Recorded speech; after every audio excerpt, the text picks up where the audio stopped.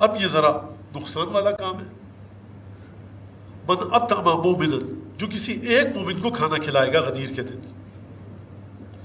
کان کمن اطعم جمیع الانبیاء والصدیقین ایسا ہے کہ اس نے تمام انبیاء کو یعنی آدم سے لے کر سرکار ختمی مرتبہ سب کو کھانا کھلایا، اور نہ صرف انبیاء کو، بلکہ تمام کے تمام صدیقین کو کھانا کھلایا۔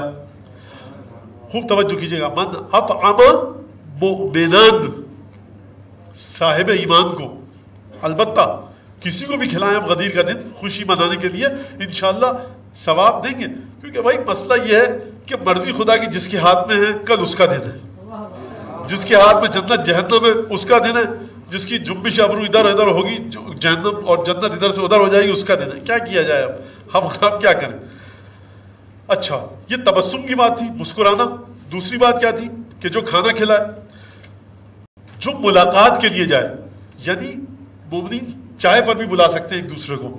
حتیٰ ٹھنڈا پانی، حتیٰ بغیر پانی کے بھی۔ سوکھا سوکھا آئے، سوکھا سوکھا مہمان چلا جائے۔ فمن زارا فی ہے غدیر کے دن جو ملنے جائے، کس سے؟ اپنے بھائی سے۔ مومن ایک مومن سے ملنے جائے۔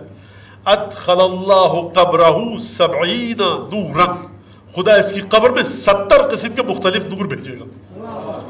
وَوَسَّعَ قَبْرَهُ خدا اس کی قبر کو وسعت دے گا۔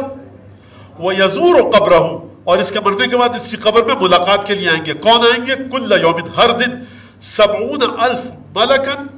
ستر ہزار فرشتے آئیں گے۔ وہ یوبشرونہ بالجنہ۔ اور اس کو جنت کی بشارت دیں گے۔